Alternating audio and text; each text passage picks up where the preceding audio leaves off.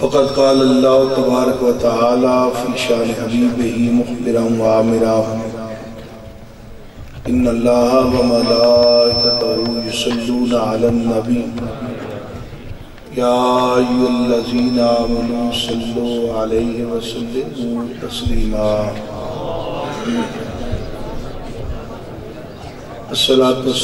अलैका या रसूल अल्लाह अलैका या हबीब अल्लाह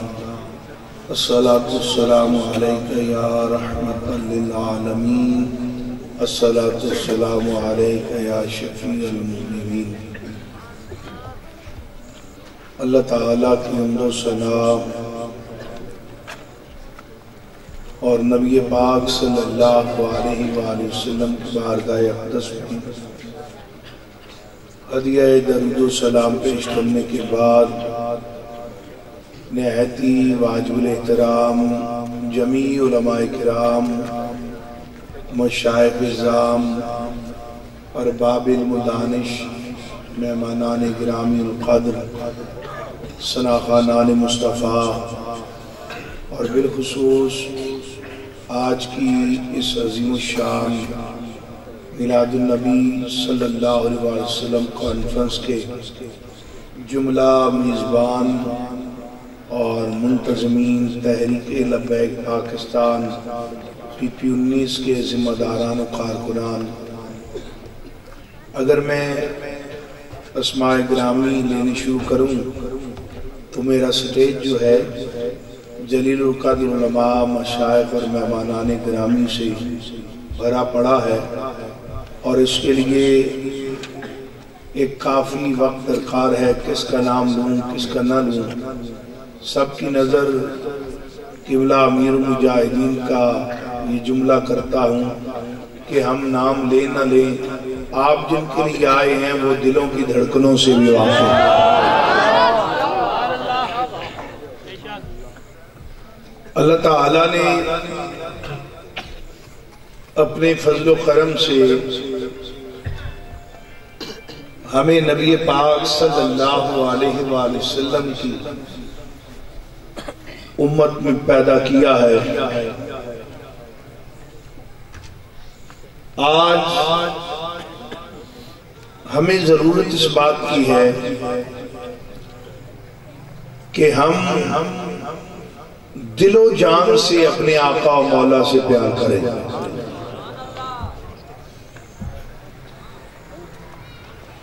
मेरी शायद कुछ बातें आपकी तबीयत पर गरा गुजरे। आपने नाराज़ नहीं होना। इसलिए कि बीमारी जब बढ़ जाए तो उसका इलाज करना जो है वो बहुत ज़रूरी होता है। मुझ समेत हर बंदा ये दावा कर रहा है और यहाँ पर बैठने वाला। ये दावा करता है कि हम हजूर के आशिक हैं और हजूर के गुलाम हैं। आशिक कौन होता है? और इश्क किसको कहते हैं? हमने तो अपनी ज़िंदगी में, गली मोहल्ले में, इलाके में, अगर किसी मजाजी इश्क करने वाले को भी देखा है तो हमने देखा कि वो औरत की खातिर अपने माँ बाप को छोड़ रहा है। बहन भाइयों को छोड़ रहा है। तालकदारों से मुँह मोड़ लेता है। टेलीफोन में सुबह शाम मस्त है कि महबूब के दीदार और महबूब की एक एक अदा पर वो सब कुछ कुर्बान करने के लिए तैयार है। न माल देखता है, न जान देखता है, न माँ बाप को देखता है। न रस्मो रिवाज देखता है, न इज़्ज़त को नीलाम होना, ये उसे याद रखता है। वो कहता है, इश्क किया है? तो अब ये बाजी मैंने जीत ली है। मैंने कामयाब आशिक बनना है। मैंने वो आशिक बन जाना है कि दुनिया मेरी मिसाल दे। अगर इश्क मजाजी का ये हाल है तो आशिक हकीकी का हाल क्या होगा? दावा तो हमने ये किया कि हम आशिक हैं। लेकिन आइए, मैं अपने गिरेबान में झांकू। आप अपने गिरेबान में झांके कि अगर हम हजूर के आशिक हैं तो हजूर की बात कितनी मानी है? देखना आशिक का तब भी पता चलेगा कि जब हम हजूर की बात मानेंगे बात मानी आलम कुफर की, बात मानी गैरों की, और नाम लिखवा दिया है आशकान रसूल में। उम्मत को ये मुनाफ्त छोड़नी पड़ेगी, ये मुनाफ्त इसकी मैं मिसाल दूँगा आपको। ये ना हो कोई कल के मौली साहब ऐसी बात करके चले गए। कोरोना आया पाकिस्तान में और पूरी दुनिया में ये नहीं आया। हर बंदा कहता, कोरोना आया है, लेकिन देखा किसी ने नहीं। कोरोना देखा जी। आया भी, खत्म ही हो गया। आया कहाँ से? आया गैरों की जानब से। अंग्रेज़ साइंसदानों ने, अंग्रेज़ डॉक्टरों ने तहकीक की। और मुसलमानों को ये बताया, ये कोरोना है। अच्छा भाई, कोरोना आ गया है तो क्या होगा? उन्होंने कहा, बड़ा सख्त वायरस है। ये बंदर से बंदर को लग जाता है। बंदा, अगर ये ज़्यादा हमला आवर हो जाए तो बंदा मर जाता है। ये तहकीक हम तक आई? उन्होंने कहा, इसका इलाज भी है। क्या इलाज है? कि जी सोशल डिस्टेंस कायम किया जाए। बाहमी फासला को कायम करो। आपस में दूर दूर हो जाओ। छह फुट का फासला रखो। ये तहकीक आई मास्क हमने पहनो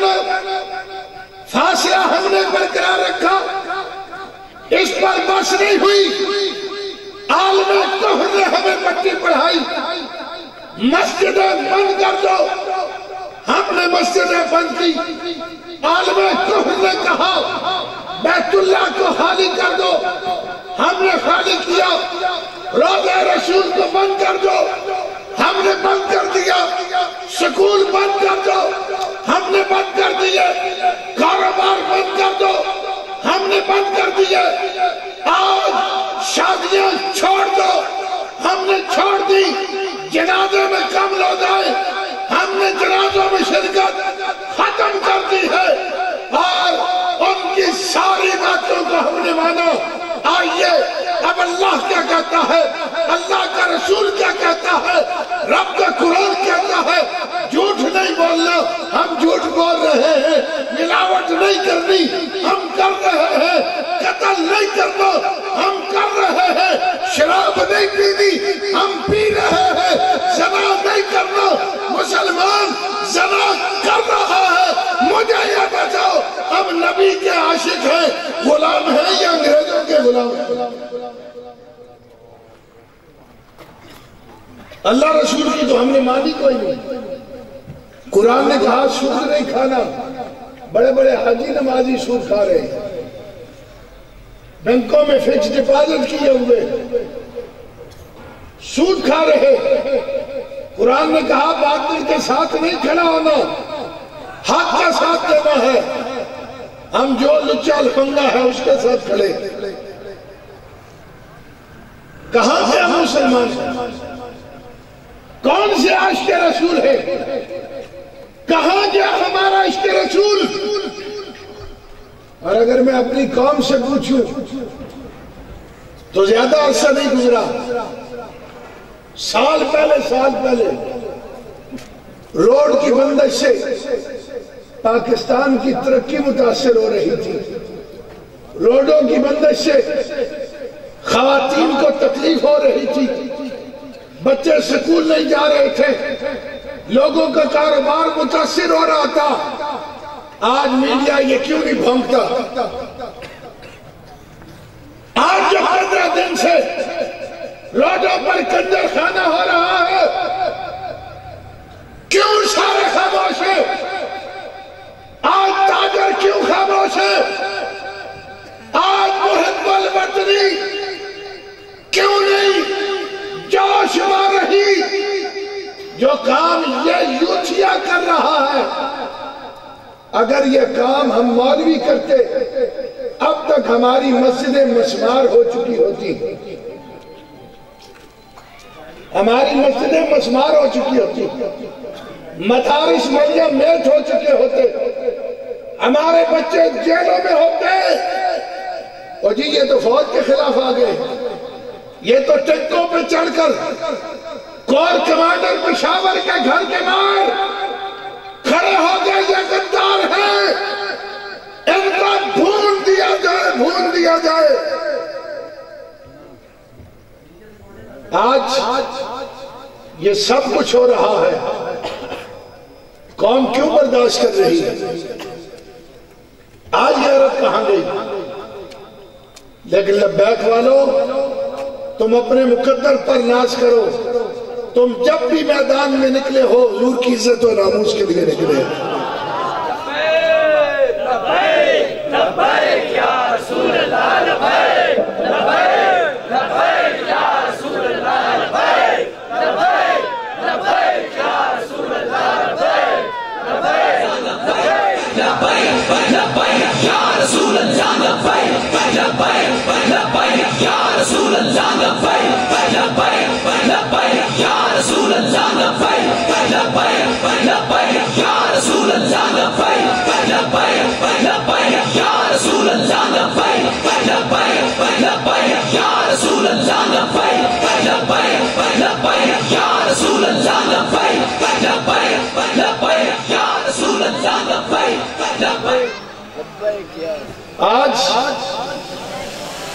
शवाती साहब रो रहे हैं। रो रहे ये भी रो रहे हमारा कोई मौलवी रोया है? हमारा कोई कारकुन रोया है? कोई नहीं रोया। आज़म शवाती साहब कहते नहीं नहीं। मेरी इज़्ज़त नफ्स मजरू हुई। मैंने कहा, आपकी इज़्ज़त नफ्स मजरू नहीं हुई अभी।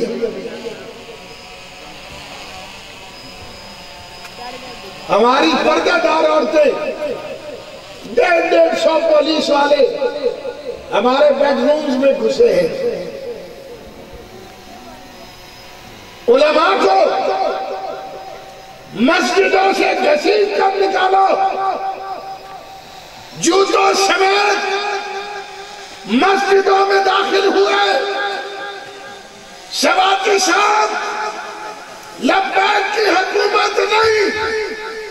साल बाद आप लोग जलील हो रहे हैं। हुकूमत लब्बैक की नहीं, लेकिन साल बाद जलील हो रहे हो। क्यों हो रहे हो? इसलिए कि बरेली के ताजदार ने बड़े पहले बताया था, जो तेरे दर से यार फिरते हैं क्यों ही दर बदर खार फिरते हैं। कदर नबी दा एक ही जानन दुनियादार कमीने। कदर नबी दा एक ही जानन दुनियादार कमीने। ताजदार खत्म नबूवत। जिंदाबाद जिंदाबाद। आज शहबाज गिल दो दिन चक्की में रहा। और हाय मेरी सांस नहीं आ रही हाय मेरी सांस नहीं आ रही। अल्लामा खादिम हुसैन रज़ी साल माजूरी के आलम में आप फरमाते थे, एक दिन पीर सैयद जहीरुल हसन शाह साहब और जो आपके साथ खादिम होता था, आसिफ, इनकी तारीख थी और अल्लामा खादिम हुसैन रिजवी अलैह की तारीख नहीं थी। ये दोनों सुबह तारीख पर चले गए। फरमाते, मुझे बड़ी प्यास लगी। मेरी चक्की में गिलास पड़ा हुआ था पानी का, लेकिन मैं उसे उठाकर पी ना सका। मैं शाम तक उसका इंतज़ार करता रहा। कि ये आए तो मुझे पानी मिले। ये जुल्म आप लोगों के दौरे हुकूमत में हुआ है। पर मालिक तो देख रहे होते हैं ना। मालिक तो देख रहे हैं। आज गली गली, नगर नगर, जिल्लत तुम्हारा मुकद्दर बनेगी। और वो वक्त बड़ा करीब है, जो किबला अमीर मुजाहिदीन कहते थे। ये हशर को होगा मालूम कि जीता कौन और हारा कौन। ये तो अभी हम पाकिस्तान में देख रहे हैं। और जिन लोगों को बड़ा घमंड था कि हमारा नाम कोई नहीं ले सकता, हम बड़े मुकद्दस गाय हैं। अल्लाह की शान देखो। फिर के घर में मूसा को पैदा किया और चौदहवीं सदी के फिरौनों के घर में खान को पैदा किया।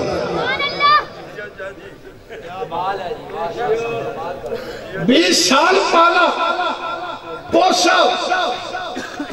ये जुमले कोई मौलवी नहीं कह सकता था जिसको खुद पाला इन्होंने आज वो खुद इनके बखिया खेल रहा है लेकिन ये भी उस दुआए जलाल का नतीजा है, जो उस मर्द कलंदर ने व्हील चेयर पर बैठकर मांगी थी। आज रात को, मैं और ज़्यादा बात आपसे नहीं करता। रात सोने से पहले वैसे भी हर बंदा मोबाइल देखता है। किबला अमीर मुजाहिदीन की दुआए जलाल सुनना, किस मर्द मुजाहिद ने क्या कहा और आज क्या पाकिस्तान में हो रहा आपने कहा तो या अल्लाह, जिन लोगों ने तेरे दीन का रास्ता रोका है, खुफिया या एलानिया या अल्लाह उन्हें जलील करके मारना, आज ऊपर से लेकर सारे जलील हो रहे हैं या नहीं हो रहे?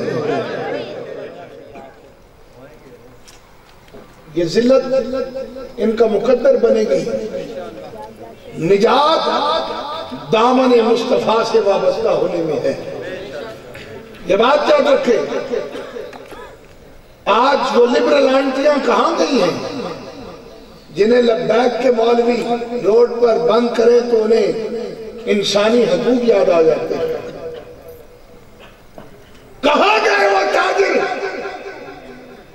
वो सारे लोग जो नबी की इज़्ज़त के लिए तो बाहर नहीं निकल सके, लेकिन आज बाहर निकलना फख्र महसूस कर रहे हैं। और मुजरे को नाम दिया जा रहा है, हम जिहाद करने जा रहे हैं।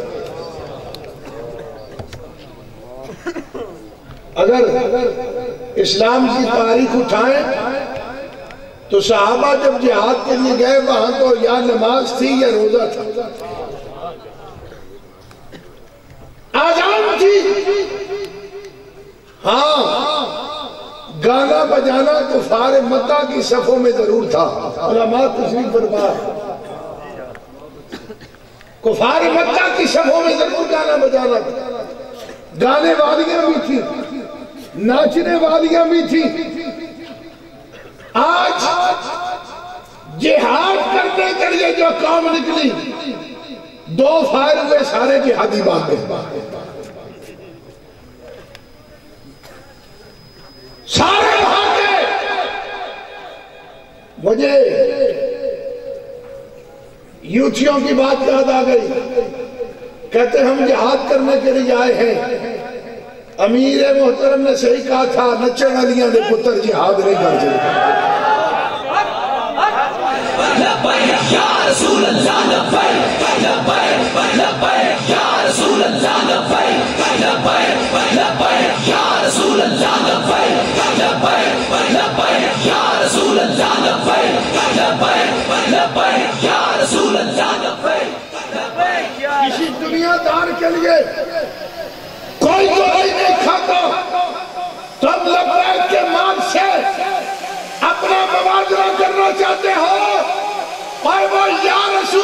का नारा है, जो हमें पीछे नहीं, हटने देता। वो हुजूर का नाम है, वो हुजूर का नारा है, वो मिशन हुजूर की इज़्ज़त का है, हुजूर की नामूस का है, और हर शख्स का पता है, अगर इज़्ज़त रसूल पर जान कुर्बान होती है, दुनिया की ज़िंदगी कुर्बान करके मैं बारदार मुस्तफ़ा से हयात जावेदानी दूँगा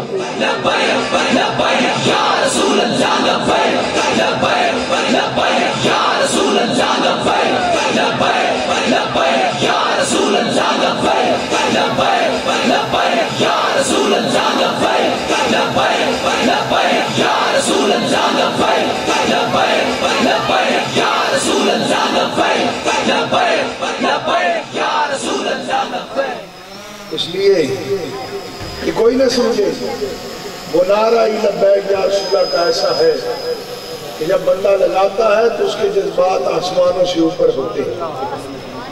और हुजूर की इज़्ज़त और नामूस की बात होती है। आज कौम को अपना मुआसबा करना पड़ेगा। हमें सोचना पड़ेगा, हम किस रास्ते पर चल रहे हैं? हमें किस तरफ़ जाना है? आज अगर हम बेदार न हुए तो ये लिबरत तबका जो है, ये आपसे रोटी का आखिरी नवाला भी छीन लेगा ये बात याद रखना। अपने लिए इनके सारे काम ठीक है। गरीब के लिए ये कोई काम नहीं कर सकते।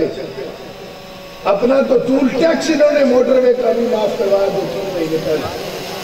सारी जमातें एक पेज पर। एम एम एस की तनख्वाह में इजाफा हुआ है। सारे पेज पर है। आज ज़रूरी इस बात की है, गरीब मैदान हो, गरीब उठे, मैदान में आए और गरीब गरीब का साथ दे। इन वडेरों जागीरदारों और बदमाशों से इजहार ताल्लुक ही किया जाए और एक नज़रिए पर हम खड़े हो। इंशाला पाकिस्तान में वो दिन ज़रूर आएगा जब हुजूर का दीन तक पर